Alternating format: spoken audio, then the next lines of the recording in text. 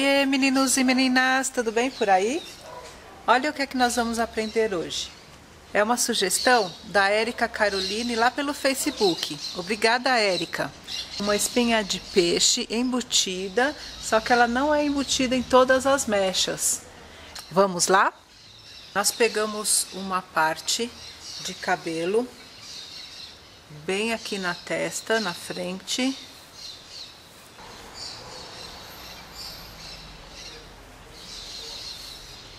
Começamos uma espinha de peixe com mechas finas.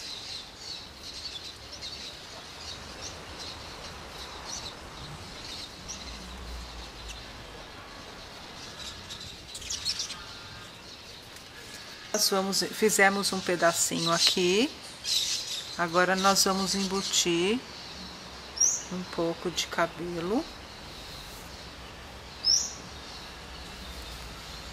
Dos dois lados.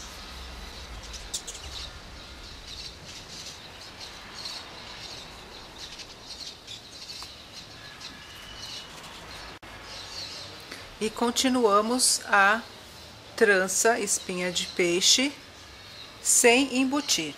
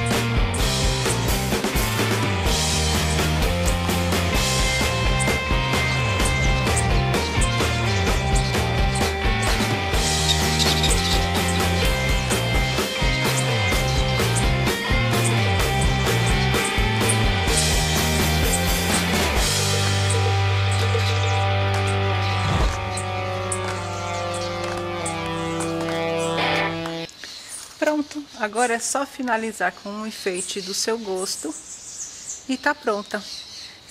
Eu achei linda essa trança. Se você gostou também, dê um like aqui embaixo. Coloque a sua opinião também, mande sua sugestão lá pelo Facebook, no Instagram. Inscreva-se no canal, compartilhe o vídeo. Agradeço muito você ter assistido. Um super beijo e até a próxima.